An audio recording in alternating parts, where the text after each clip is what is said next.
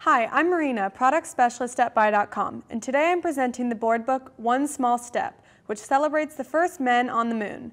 This book gives a new generation the opportunity to look, feel, touch, and experience the Apollo 11 moon landing in 1969.